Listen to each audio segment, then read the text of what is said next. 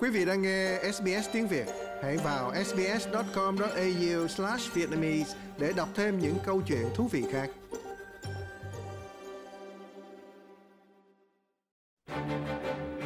Lê Tâm và tạp chí Nước Úc trong tuần xin chào quý vị. Và trong chương trình hôm nay, à, xin hân hạnh giới thiệu luật sư Lưu Tường Quang và luật sư Nguyễn Văn Thân sẽ tham gia với Lê Tâm ngày hôm nay. Xin chào hai luật sư. À, tôi xin chào uh, cô Lê Tâm và chào luật sư Nguyễn Văn Thân và tất cả quý vị khán thính giả của uh, à, SBS. Vâng, xin chào cô Lê Tâm, xin chào luật sư Lưu Tường Quang và xin kính chào uh, quý khán thính giả của uh, SBS Việt ngữ. Dạ vâng, cảm ơn hai luật sư đã nhận lời tham gia với chương trình hôm nay. Và quý vị cũng biết đó là hôm nay là thứ sáu thì ngày mai đó là ngày bầu cử Hội đồng thành phố ở New South Wales. Thưa luật sư, cái tầm quan trọng của những cuộc bầu cử ở địa phương là như thế nào ạ? Cái hội đồng thành phố nó nó rất là gần gũi với cư dân. Là tại vì chỉ có những cư dân trong hội đồng thành phố đó mới được được ghi có tên trong cái sổ cử tri thì mới được đi bầu à, người ta có thể xa lạ với cái với cái quốc hội tiểu bang và đặc biệt là người ta có thể rất xa lạ với quốc hội liên bang nhưng mà tôi nghĩ là cư dân trong một cái vùng nào đó thì sẽ không xa lạ với cái hội đồng thành phố của mình là tại vì à, trong cuộc đời sống hàng ngày đó cử tri hay là cư dân trong một trong một cái vùng của một cái hội đồng thành phố đó họ người ta có rất nhiều cơ hội để người ta tiếp cận người ta đến người ta gặp. À, chẳng hạn như để sửa sang nhà cửa à, xin giấy phép làm những việc này việc nọ hoặc là cái cái cái cái gần gũi nhất là ờ, cái vấn đề đổ rác hàng ngày hàng tuần thì tất cả những cái đó nó, nó làm cho cái cái sự gần gũi nó trở nên thân mật hơn và nó dễ dàng hơn. Nó không có phải là người ta theo nói như Việt Nam là không phải vô phúc mà đáo tụng đình. Ở đây là là một cái cơ sở hành chánh. Nó trình bày nó đưa ra những cái um, à, những cái những cái à, dịch vụ công. Và đồng thời nó có những cái kế hoạch để làm cho cái đời sống địa phương cái khu vực địa phương được à, được khang trang được thích hợp cho đời sống của cư dân hay không nhưng mà sau khi nói về nhóm như vậy về cái mặt ờ, đời sống hàng ngày đó thì tôi nghĩ là tôi cũng phải nói thêm là tại Úc á, cái hiến pháp liên bang 1901 là không công nhận sự hiện hữu của hội đồng thành phố địa phương. Và thành ra tất cả các hội đồng địa phương trên toàn quốc Úc Châu đều chỉ được công nhận bởi cái hiến pháp của tiểu bang thì trong trường hợp này đó thì New South Wales có cái tiểu bang của New South có cái hiến pháp của, của New South Wales và chính phủ New South Wales thì có ban hành những cái luật lệ để quy định cái sự à, cái sự vận hành trách nhiệm và bổn phận của hội đồng thành phố địa phương với một cái đạo luật nó gọi là Local Government Act 1993 ừ, dạ um, thì đó là về cái vấn đề và mình thấy xa lạ với những nhân vật mà mình thấy là ở trong hội địa phương của mình. Nhưng mà thưa luật sư thân Lê Tâm cũng có một cái thắc mắc nữa đó là có phải ở Úc là tất cả à, những chính trị gia là đều xuất thân hoặc là có thể thấy là đi lên hoặc là được à, à, phát triển cái sự nghiệp chính trị của mình từ những hội đồng địa phương từ những cuộc bầu cử như ngày mai không ạ? Chúng ta đang nói tại tiểu bang New South Wales thì có khoảng chừng 153 um, à, dân biểu và nghị sĩ uh, tại Quốc hội New South Wales thì trong đó có khoảng hơn 50 51 52 người là xuất thân là những người đã từng là những người nghị viên thậm chí có những người là cũng còn đang là nghị viên có nghĩa đội cả hai cái mũ vừa là nghị viên mà vừa là vừa là dân biểu của ờ, của quốc hội. À, thì một cái một cái ví dụ rất là rõ ràng là hiện nay ở trong cái khu vực ờ, hội đồng thành phố Fairfield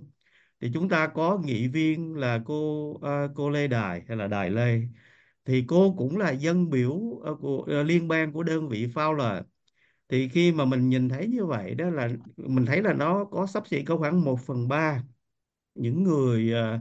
uh, đang là dân biểu của quốc hội. Đây là mình chỉ nói quốc hội tiểu bang thôi. Thì đã từng À, phục vụ hay là đã đã từng nắm chức vụ và đang nắm chức vụ trong các chính trong trong cái hội đồng thành phố. Thì tôi thấy đó là một cái tỷ lệ cũng rất là đáng kể và và tôi thấy rằng nó là một cái việc cũng rất là dễ hiểu và nó cũng rất là lành mạnh có nghĩa là cái môi trường hội đồng thành phố là ờ, bất cứ một người nào ờ, cũng có thể ờ, ra tranh cử theo diện độc lập, hay là nếu như một người nào đó mà nghĩ rằng họ muốn đóng góp, họ có thể gia nhập vào đảng ra tranh cử. Cái cơ hội họ thành công thì cũng khá cao, tại vì thông thường nếu mà cái đảng nó mạnh á, thì trong một cái danh sách chừng năm sáu người thì có thể có tới ba bốn người sẽ được chọn nếu mà mình nằm ở trong cái hàng thứ hai, nếu mà mình nằm trên cái hàng đầu thì chắc chắn là hầu như chắc chắn là mình sẽ được chọn là nghị viên. Còn nếu mà mình đứng hàng thứ hai thì, và thứ ba thì cái cơ hội cũng rất là cao. Và sau một cái thời gian ờ, coi như là lăn lộn ở trong cái chính trường nhỏ bé ở hội đồng thành phố rồi cũng phải tranh cãi, rồi cũng phải ờ, ăn nói trước công chúng, rồi cũng phải ờ, đáp ứng được cái nhu cầu của cử tri ở địa phương thì tôi nghĩ là nó là một cái môi trường tôi luyện um, cũng rất là tốt để cho những cái người nào mà họ có cái uh, có cái ý chí đi xa hơn nữa trên cái phương diện chính trường thì họ dùng đó làm cái bàn đạp. Để khi có cơ hội thì họ đứng ra tranh cử à, vào cái chức dân biểu ở à, à tiểu bang ở, ở quốc hội tiểu bang hoặc là xa hơn nữa là quốc hội liên bang. Thì tôi nghĩ đó là là tôi hoàn toàn à, cho rằng đây là một cái môi trường rất là tốt và nếu như mà à, gọi là một cái người nào mà muốn ra đó thì tôi nghĩ bước vào cái hội đồng thành phố là một cái bước à, ban đầu rất là thích hợp để dùng nó làm cái bàn đạp tiến thân trong cái sự nghiệp chính trị của mình. Tôi tôi đồng ý với luật sư thân nhưng mà ứng cử vào hội đồng thành phố nó không phải là cái lối duy nhất để có thể tiến thân về phương diện chính trị. Thực ra đó thì à, tôi đồng ý là có khá đông à, dân biểu tại tiểu bang cũng như tại liên bang à, hay là nghị sĩ đã có cái quá khứ khởi đầu cái cuộc đời chính trị của mình dưới cái hình thức nghị viên của hội đồng thành phố. Nhưng mà thực tế mà nói đó thì nó có ba cái phương thức để để tôi luyện để để đưa đẩy những phần thành phần trẻ trở thành những chính trị gia. Thì cái thứ nhất đó là hội đồng thành phố địa phương. Cái thứ nhì đó là nghiệp đoàn cho những đảng viên của đảng lao động. Và thứ ba đó là các cơ sở các các corporation cho cho cho những người ờ, thuộc thuộc cái thành phần tự đảng tự do. Tôi lấy cái thí dụ cụ thể đó là thí dụ như bây giờ ông ông Chris Means à, là thủ hiến hiện tại tại New South Wales thì ông đã từng là nghị viên của thành phố Hurstville thì cái nó đúng như là luật sư thân nói. Nhưng mà những người khác chẳng hạn như bà Gladys Berejiklian Ờ, cựu thủ hiến của New South Wales. Thì trước khi mà bà vào chính trị thì bà là một banker bà làm trong cái corporation về tài chính. Ờ, thật ra và hơn nữa đó là họ có thể uh, sinh hoạt trong cái hội đồng thành phố địa phương mà không nhất thiết phải là một nghị một nghị viên. Cho nên nói đi nói lại đó thì cái môi trường mà huấn luyện để cho người ta có thể trở thành một chính trị gia ở cấp tiểu bang và liên bang đó thì bao gồm cái hội đồng thành phố địa phương bao gồm cái phong trào nghiệp đoàn. Chẳng hạn như ông à, Bill Shorten mà như cô uh, Lê Tâm đã biết đó thì ông vừa mới tuyên bố từ chức để trở thành Vice Chancellor của University of Canberra. Thì cả cuộc đời ông trước khi ông bước trở thành dân biểu thì ông là làm trong nghiệp đoàn. Hay là Bob Hope cũng là một người lãnh tụ nghiệp đoàn trước khi trở thành uh, trở thành thủ tướng cho nên vì lý do đó mà cái cơ hội để cái thành phần trẻ mà bắt đầu cuộc đời chính trị nó rất là rộng rãi mà nó rất là nó rất là chuyên nghiệp. À, cho nên ừ. cũng vì lý do đó mà tôi cho rằng cái trình độ nói chung của dân biểu và nghị sĩ tiểu bang cũng như liên bang tại úc họ có một cái kiến thức rất là cao về cái sự vận hành của của cái cái, cái quốc hội hay là của cái hội đồng thành phố. Ờ, đồng thời nó cũng là cái huấn luyện của họ về phương diện kiến thức họ tranh luận rất giỏi họ tại vì cái nước úc nó là một cái xã hội uh, dân chủ cho nên nó có một cái hệ thống gọi là adversary ờ, hay có chính phủ thì có có có có có có, có đôi lập mẹ có ngay cả trong hội đồng thành phố thì có đa số thì có thiểu số ừ. cho nên đó là những cái ờ, yếu tố mà đã làm cho nước úc trở thành một cái nền dân chủ rất là rất là thông thoáng và rất là uh, rất, rất là có có cái kỷ luật vừa là vừa là có cái sự tự do cái sự phát biểu cái theo đuổi những cái à, những cái đường lối của chính mình nếu là độc lập và của đảng nếu là mình là thành viên của đảng mà đồng thời cũng là tạo ra một cái sinh hoạt à, dân chủ rất là lành mạnh tại à, tại Úc Châu. Ừ, dạ cảm ơn luật sư. Dạ thì um, nói quay lại với cái góc nhìn cử tri của bản thân Lê Tâm hôm nay à, nói chuyện với một tư cách là mình là cử tri đó thì mình rất mong muốn những người mà ứng cử ở hội đồng địa phương người ta có thể là đáp ứng được những cái mong muốn của mình thông qua những cái gì người ta đã nói trong cái chính sách người ta đã nói khi mà tranh cử. Chẳng hạn với một trong một trong những cái ví dụ mà Lê Tâm mới tìm hiểu ở đây à, lúc nãy luật sư nói thì Lê Tâm có à, Google search một chút xíu thì thấy ở trong đây á, là có ở um, ba cái vị dân biểu ở Quốc hội liên bang hiện tại đó mà thực ra chỉ có ba ba vị thôi ba vị à, tổng trưởng là từng á, là đảm nhiệm vai trò thị trưởng ở một cái hội đồng à, thành phố. Chẳng hạn như trong đó có ông Chris Bowen à, là một trong à, ông ông đang là tổng trưởng về biến đổi khí hậu và năng lượng. Thì ông đã từng à, được bầu vào hội đồng thành phố Fairfield à, từ năm 1995 mà lúc đó thì ông rất là trẻ ông chỉ mới có 20 tuổi 21 tuổi à. Thì đó là một trường hợp mà có thể thấy là mình mình thử, mình đưa trường hợp đó ra, anh thử nói đó. Thì hồi xưa, không biết là luật hai, luật sư có nhớ là ông hứa gì với người dân Fairfield không? Bây giờ ông đi lên ờ, liên liên bang thì ông có còn là một người có thể thấy là giữ được những cái gì mà ông đã nói ngày xưa không? À, chắc xin luật sư thông sư trước đi ạ. Dạ dạ. Ok ok luật Cảm ơn chị đã tâm xin lỗi luật sư Quang là tôi rất nhớ rất rõ là tại vì ờ, vào năm 1997 khi mà tôi tham gia vào sinh hoạt với cộng đồng người Việt tự do ở đây đó thì lúc đó là ông Chris Bowen ổng được ờ, ổng trở thành nghị viên và ổng có một khoảng thời gian ổng làm thị trưởng nhưng mà trong cái thời gian đó hồi, hồi đó đó thì không có bầu trực tiếp là thị trưởng. Ừ. mà nếu như đảng lao động nắm đa số ờ, trong hội đồng thành phố ví dụ như có 12 ghế nghị viên mà đảng lao động nắm 7 ghế thì họ trong cái 7 người của họ đó họ sẽ bầu ra một cái người làm thị trưởng và cái người đó làm vào cái thời gian đó thì họ chỉ làm được có một năm thôi. Cái, cái năm tới họ lại bầu qua cho cái người khác. Thì tôi còn nhớ rất rõ đó là khi mà lần đầu tiên tôi gặp ông Chris Bowen ở ờ, ở Karamata khi mà ông tham gia vào các sinh hoạt của cộng đồng thì ông còn rất là trẻ măng. Thì tôi nói rất là đúng à, và ông có hứa gì thì thật ra đó là à, các cái à, những cái người mà họ nằm ở trong các đảng phái thì họ ra tranh cử thì họ đều có cái chính sách. Thì à, cái chính sách của họ đó thì nói chung nó sẽ tập trung vào những cái vấn đề ở tại địa phương chẳng hạn như bãi đậu xe chẳng hạn như là sửa chữa đường xá chẳng hạn như là à, có thêm công viên. Ờ, và họ cũng làm ở trong cái trong cái tầm ngân sách của họ. À, có một cái điều đúng nên đáng nói là tại vì cái khu vực ở Fairfield đó thì cái um,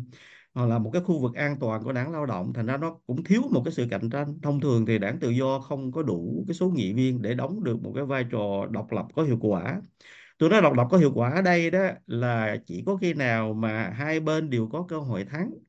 nắm được chính quyền thì lúc đó nó mới có một cái sự cạnh tranh thật sự còn không á, thì cái sự cạnh tranh nó có nhưng mà nó cũng ở một cái mức độ giới hạn thôi. Rồi sau đó khi ông Chris Bowen đó là ông đã dùng cái ờ, hội đồng thành phố để ông làm cái bàn đạp để ông trở thành dân biểu liên bang. Và có một thời có một thời đó ông ông ông lên đến mức là xém một chút xíu nữa ông trở trở thành tổng trưởng ngân khố. Nếu như mà ông Bill Shorten thắng cử trong cái cuộc bầu cử đó có lẽ lùi xuống không ai còn nhớ. Mà tổng trưởng ngân khố đây là lớn lắm là đứng ờ, coi như là thứ sau thủ tướng thôi là thứ hai thôi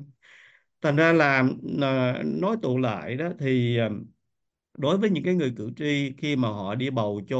um, nghị viên hội đồng thành phố thì tôi nghĩ là hội đồng thành phố là một cái môi trường rất tốt để không chỉ là mình chọn mặt gửi vàng cho đảng nhưng mà cho những ứng cử viên độc lập.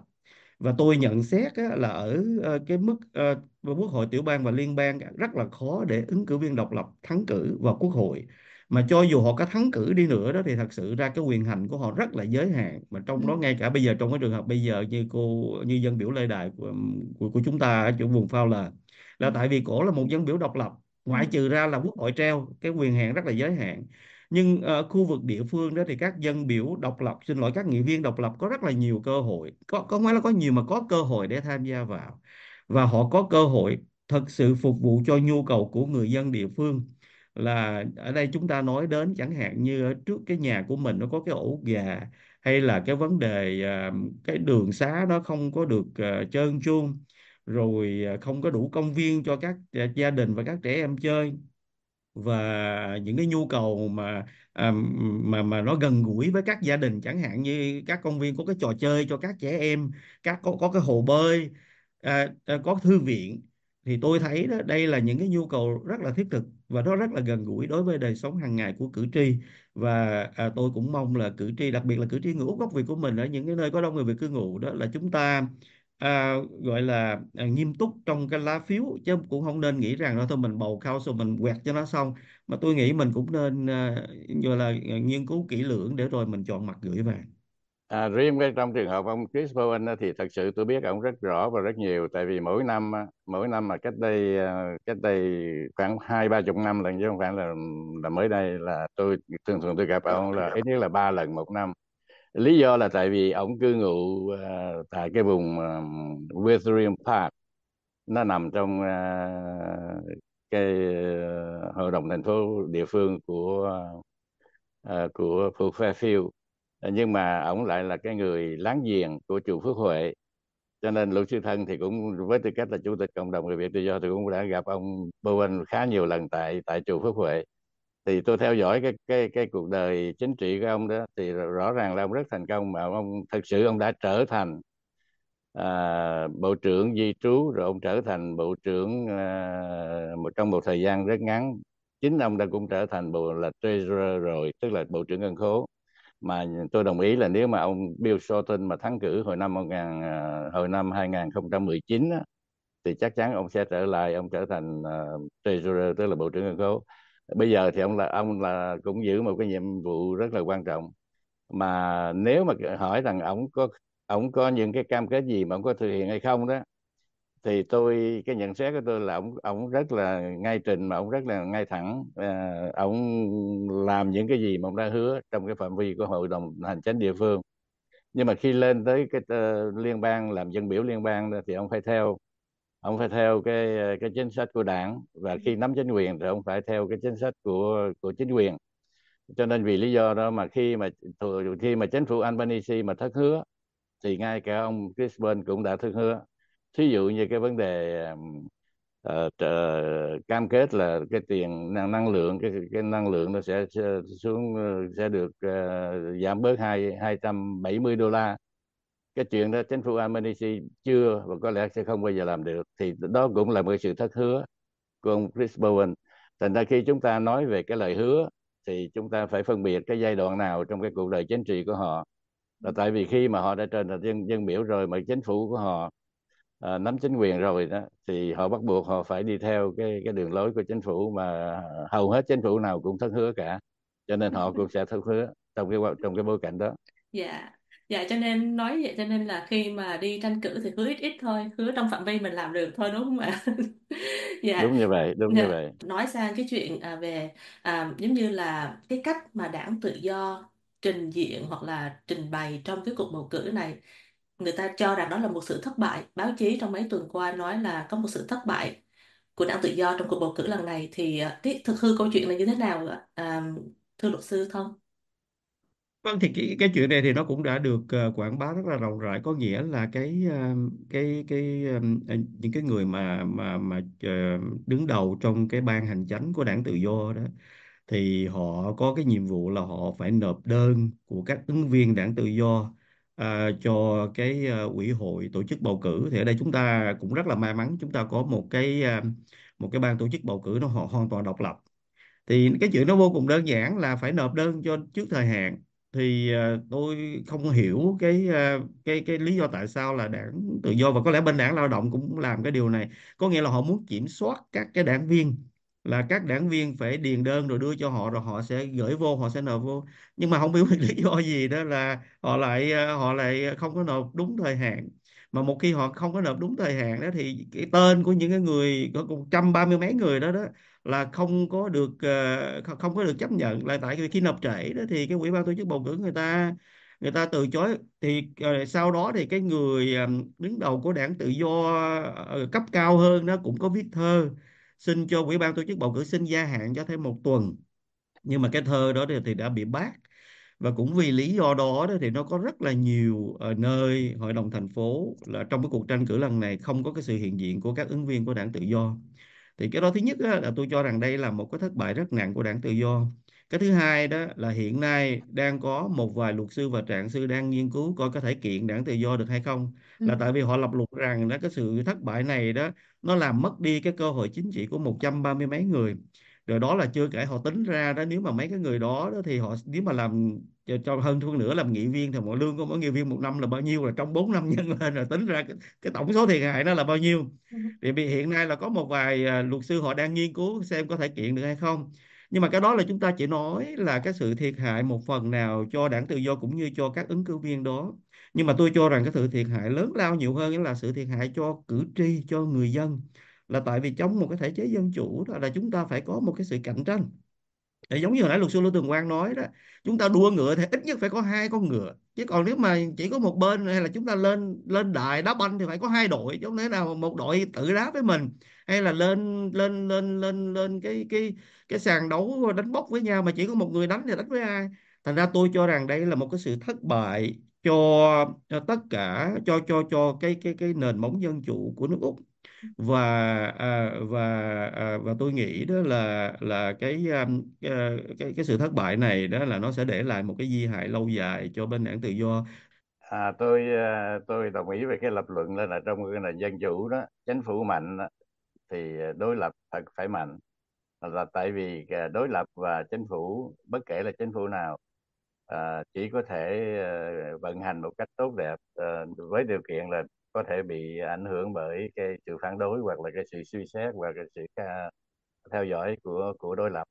À, cho nên về cái phương diện đó thì tôi hoàn toàn đồng ý với luật sư thân. Nhưng mà trong cái trường hợp mà đảng tự do tại tiểu bang New South Wales à, đã không à,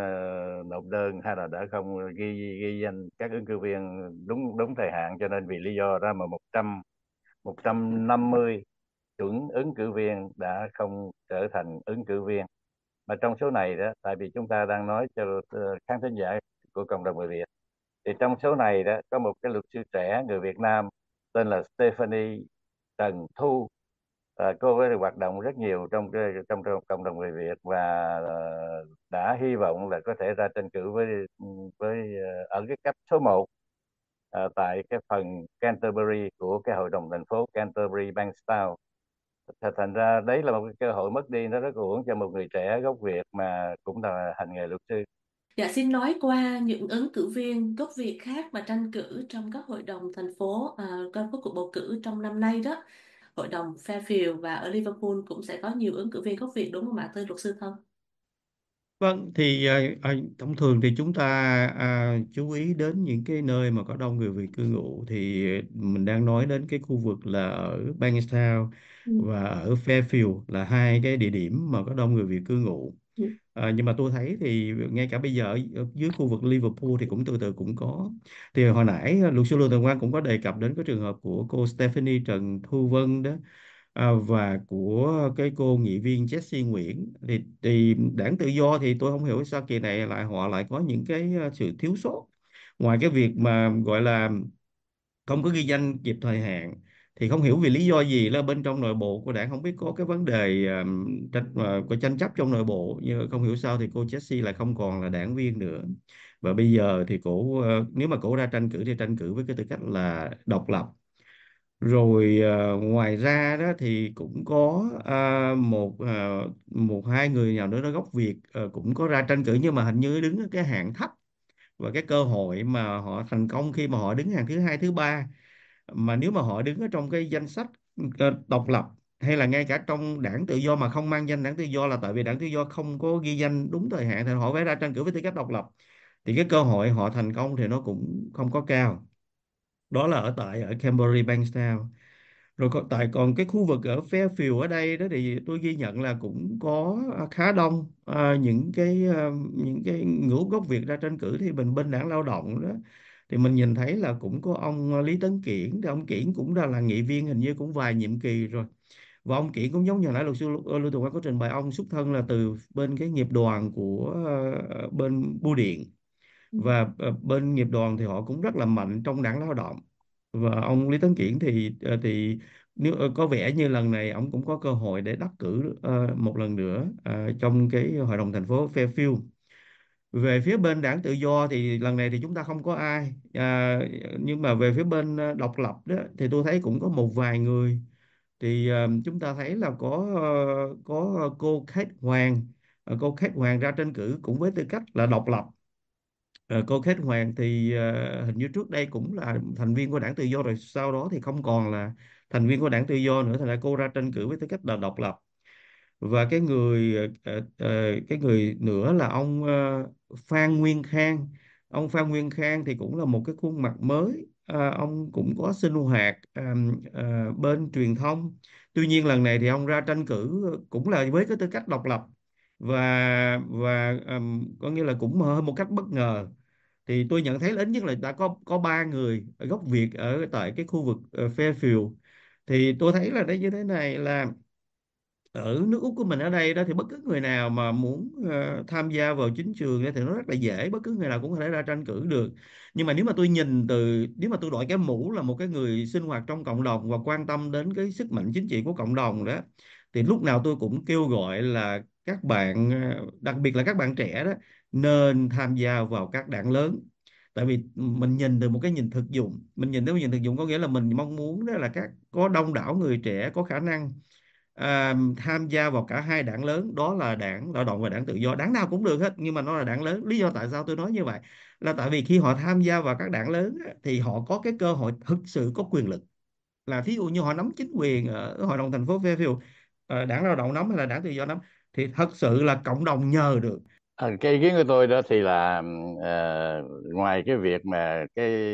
tham vọng hoặc là cái ý muốn cá nhân á thì tôi nghĩ rằng những người mà ra tranh cử dù bất cứ là với tư cách gì với tư cách là đảng viên của đảng tự do hay là đảng lao động hay là độc lập thì cũng nên có một cái quá trình sinh hoạt nó đem lại cái hữu ích cho cộng đồng. Chứ mà bây giờ một người tự nhiên không ai biết gì cả tự nhiên nhảy ra ứng cử thì cũng được đi nhưng mà cái cái đó, đó tôi cho rằng nó không có đem lại cái sự ích lợi cho cho cái cử tri tại địa phương trong đó có cử tri người Việt. À, trong cái số ba người mà trong cái số ba người mà luật sư thân đã nêu tên trong cái cuộc ờ, bầu cử tại hội đồng thành phố địa phương ở Fairfield đó thì tôi biết rõ thì tôi biết rất rõ là ờ, dân biểu Đài Lê là tại vì tôi biết tôi quen biết cổ là từ cái thở mà cổ còn hai con là uh, nghị viên và sau đó là phó thị trưởng. Là có hoạt động mà giúp đỡ cộng đồng sinh hoạt trong cộng đồng rất nhiều năm trước trước khi cô ra tranh cử trước kia trước kia cô là ký giả của đài ABC à, còn hai người còn lại đó thì ờ, tôi không có phát biểu ý kiến mà tôi chỉ nói rằng cử tri nên quan sát cái sinh hoạt của họ một cách rất là cẩn thận để biết chắc rằng họ à, ra tranh cử với tư cách độc lập mà độc lập thực sự chứ không phải là độc lập dưới một cái hình thức nào đó. Sở dĩ mà tôi nói lại đó tôi nói như vậy đó thì ờ, cứ nhìn vào các cuộc bầu cử tại úc này mà tôi nói những cái cáo buộc này nó đã được đăng trên các báo chính mạch rất từ lâu rồi. Và tôi không có ờ, lặp lại những cái cáo buộc này đối với các cử, đối với các ờ, ứng cử viên gốc Việt. Nhưng mà trong quá khứ đó, cộng đồng người Hoa, cộng đồng người Úc gốc Hoa đã bị rất nhiều áp lực của của Đảng Cộng sản Trung Quốc, nhất là cái tổ chức nó gọi là United Front. Họ đưa ra những ứng cử viên với mục đích là xâm nhập vào cái môi trường chính mạch của nước Úc để khuynh đảo để khuynh đảo cái vấn đề chính trị trong tương lai. Cái điều đó nó đã xảy ra. À, tổ chức ASIO đã có điều tra và báo chí Úc cũng đã nêu ra những cái cáo buộc này. Thì tôi nghĩ là một cái nước lớn như là Cộng hòa Nhân dân Trung Hoa mà đã làm như vậy thì ờ, cũng có thể là những nước nhỏ hơn cũng có thể ờ, có những cái ờ, ý định uh, theo cái phương thức ấy. Đó là một cái phương thức mà đưa người vào cái cộng đồng chính mạch để khuynh đạo, cái khuynh hướng chính trị của cộng đồng hay là của hội đồng thành phố địa phương ở cái cấp thấp và ở quốc hội tiểu bang ở cấp cao hơn. Và trong cái trường hợp mà tôi nói lúc nãy đó tôi mới vừa nói đó là đảng cộng sản trung quốc đã mưu toan đưa những cái ứng cử viên vào cấp liên bang cho nên chúng ta phải, chúng ta với tư cách là cử tri, chúng ta phải sáng suốt nhìn nhìn nhận cái cái quá trình hoạt động của họ trước khi họ ra tranh cử, để xem cơ họ đã có những cái thành tích gì, hoạt động giúp đỡ, phục vụ cộng đồng. Chứ không phải họ họ ra tranh cử vì một cái áp lực hay là một cái đề nghị hay là một cái hoạch nào đó của một cái nước nào đó. Ờ, cảm ơn luật sư Lê Tùng Quang đã nhắc uh, cái vấn đề cái cái vốn gốc Việt đó thì hồi nãy tôi cũng phải nói là là thiếu sót tôi chỉ có ba người thôi. Thật ra đó, đó có nhiều có đông lắm. Là thứ nhất là trong những cái người mà đứng đầu cái cái cái cái thiết kịch có nghĩa là cái liên danh đó thì thì chẳng hạn như tôi nói một cái liên danh của một người thì họ lại có thêm ba bốn người ở trong cái liên danh đó. Ừ. nhưng mà thông thường chỉ là cái người đứng đầu là có, mới có, mong là có cái cơ hội. Thì những cái người mà nằm ở trong cái liên danh đó thì cũng là những cái người Úc gốc Việt. Nhưng mà mình không có nhớ hết tên là tại vì ờ, một cách thẳng thắn mà nói thì khi mà những cái người độc lập ra tranh cử thì đôi khi họ kêu cũng nhờ bạn bè rồi người quen rồi thôi, cứ nhờ đứng vô cho tôi đủ số, cho tôi đủ số để tôi ra tranh cử. Nhưng mà dĩ nhiên đó là ờ, những cái nhân vật gốc Việt mà rất là nổi bật là trong đó là cô Lê Đài là cái người rất là nổi bật mà đã tôi chưa không, chưa có nhắc tới là cô hiện nay là là là là dân biểu của vùng Phao và cô nằm ở trong cái liên danh um, có nghĩa là cô có một cái cái cái không phải mình không phải nói là một cái đảng nhưng mà cái nhóm của cô với ông thị trưởng Frank Carboni đó rất là mạnh. Ông Frank Carboni vào cái cuộc bầu cử năm 2021 ông đã thắng cái chức thị trưởng ở cái khu vực này cái với cái tỷ lệ số phiếu là trên 71% mà trong một cái thể chế dân chủ là là nó nhiều dữ lắm. Nó, nó, nó có nghĩa là là thông thường mà thắng mà chừng 55 45 là gọi là thắng thắng ờ, hiển hách thắng thắng thắng ghê gớm lắm rồi. Mà ông thắng 71 là coi như là ngay cả cái, cái khu vực này là là thủ phủ là thành trì của đảng lao động mà còn phải chịu thua. Và trong cái liên danh của cô Lê Đài đó thì cũng có anh nghị viên trẻ là anh Kevin Lâm là một người trẻ và cũng rất là tích cực. Anh cũng làm được nghị viên một vài năm và tôi thấy thì anh cũng là rất là tích cực ờ, có hiện diện trong các cái sinh hoạt cộng đồng. Những cái người nào mà ra làm chính trị cho dù là ở cái mức địa phương thôi thì nên uh, cố gắng đóng góp tích cực cho cộng đồng sinh hoạt với một cái tấm lòng trong sáng và minh bạch. Rồi nếu như không làm được gì tốt thì đừng nên làm chuyện xấu hay là đừng làm nên những chuyện gây chia rẽ. Thì nếu như mà tôi nghĩ họ chỉ giữ những cái nguyên tắc căn bản như vậy đó thì tôi chắc tôi tin chắc là cử tri người Việt thì, thì lúc nào cũng sẽ sẵn sàng uh, gọi là có cái thiện cảm còn nếu như mà họ đi ngược lại những cái nguyên tắc căn bản như vậy đó thì thì đôi khi đó là nó à, chưa chắc hẳn là cử tri người Việt sẽ sẵn sàng à, bỏ phiếu ủng hộ cho họ. Dạ vâng, à, đến đây Lê Tâm xin chào tạm biệt quý khán giả và xin hẹn gặp lại quý vị à, trong chương trình tuần sau của nước Úc trong tuần. À, tôi cũng xin kính chào tất cả quý vị khán thính giả của chương trình uh, Việt ngữ của đài SBS. Thank you. À, xin chào chị Lê Tâm, xin ờ, chào luật sư Lưu Tường Quang và xin kính chào tất cả quý khán thính giả của SBS Việt ngữ.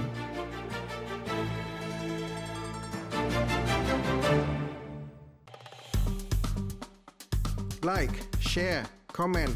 Hãy đồng hành cùng SBS tiếng Việt trên Facebook.